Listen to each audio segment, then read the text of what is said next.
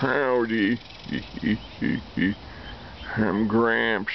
Yes, yes. Well, I'm 83 years old and, well, I ain't never seen no drought like this here in, here in South Texas. Goodness gracious. This here's my yard. Look down here at my yard. Hey, you pan that camera down here and look at the yard for me. See? See how it's a cracking? See how dry it is? Yes, yes. It hasn't rained here for two years. right. Two years.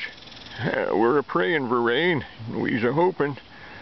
But uh, it's sunny and 104 degrees today. You know, ain't gonna happen today. I pan around here and show my yard. Look how dry and brown it is. It's supposed to be green grass, I'm a-telling you.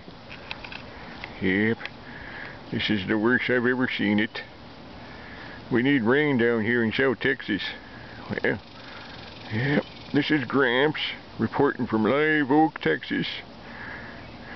Adios.